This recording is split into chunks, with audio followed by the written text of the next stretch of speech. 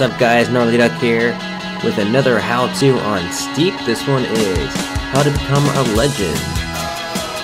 I've seen on Reddit, on the forums, and on the web, on Discord, all about on how do I start, how to become a legend, Road the Olympics. And uh, you know, I finally have the answer for you guys. I finally figured it out today, and I'm gonna show you how to do that right now.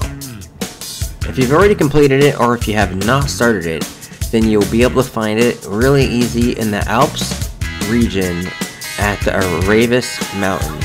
And I have the coordinates for you guys. Alright, the coordinates are 5,344 south and 1,412 east. I'll put that in the description below.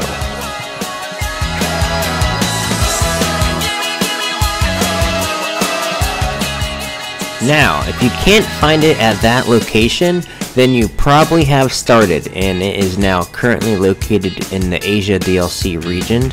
So why don't you go ahead and load up that region and then I'll show you where you can find it. Another way to tell where it is, you can open to your map view and go to travel and what you'll do is you'll see on the D-pad area the emblem there'll be a little medal icon and that means you, that is where the current location is at. So once you've loaded into Japan, go ahead and open to the map view and look for the big glowing medal icon like you had found before and then you'll be able to continue right on. It usually is at the Yotei Snow Park or at the other snow parks. And just like that, you can start it right back up. Thank you guys for joining.